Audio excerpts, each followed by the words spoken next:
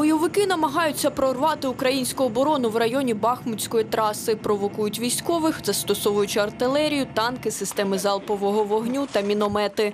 Про це йшлося на виїзному засіданні командування АТО та секретаря Ради нацбезпеки і оборони України. Нараду провели в секторі Луганськ. Олександр Турчинов перевірив бойову готовність підрозділів. Зокрема, побував на позиціях 58-ї мотопіхотної бригади, яка стоїть на передньому краї в районах Новотошківського та Новозванівки. За словами Турчинова, військових необхідно забезпечити боєприпасами, зброєю та системами радіоелектронної боротьби. Також закласти в бюджет на наступний рік зарплати, які не поступатимуться заробітним платам чиновників. комбриг, полковник.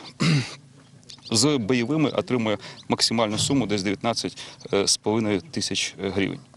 Е, В той же час, як керівник департаменту, якомусь міністерстві відомості може отримати і е, до 30 тисяч і більше.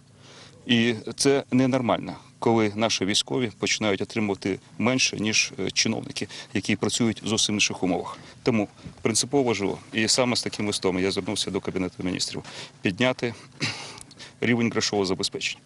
І не тільки підняти грошове забезпечення, але ж змінити його структуру.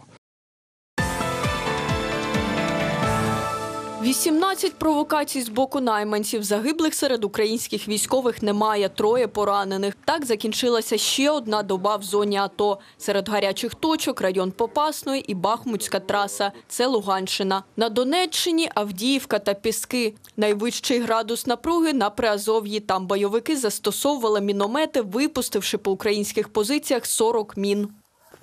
Деякі обстріли були достатньо тривалими. Це від години та більше. Найпотужніші з них сталися у Широкіному. Там противник також застосував систему реактивну систему залпового вогню ГРАД. Інцидент стався ввечері після 22-ї години. При цьому було випущено 18 ракет. Також у Новотроїцькому стався 45-хвилинний обстріл з боку противника.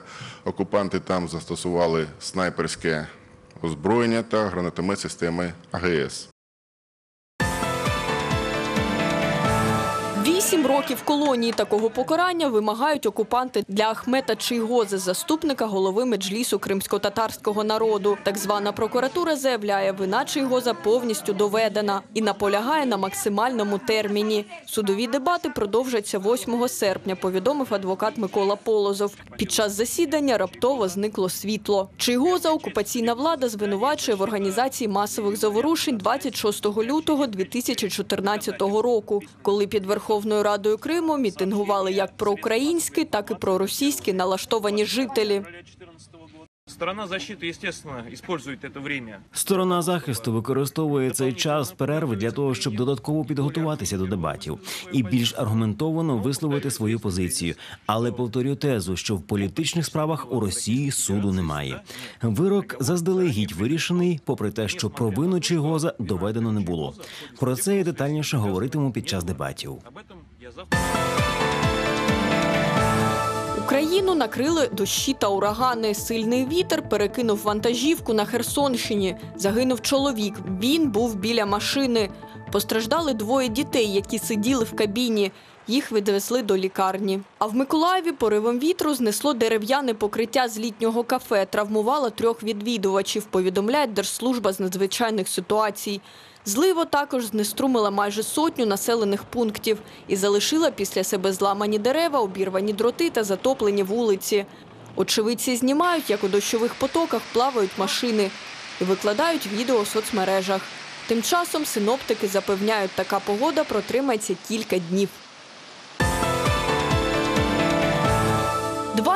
Два українських сімей отримують гроші за зекономлені субсидії. Компенсації повернуть за місяць, заявив віце-прем'єр-міністр України Павло Розенко. Він переконаний, рішення про монетизацію стане для людей стимулом економніше використовувати газ та електроенергію. Визнав, процес компенсації буде непростим для України. Це перший досвід. Однак впоратися із завданням планують уже до 1 вересня. Експеримент уряду щодо монетизації субсидій торкнувся тих, хто заощаджував енергоресурси в минулому опалювальному сезоні.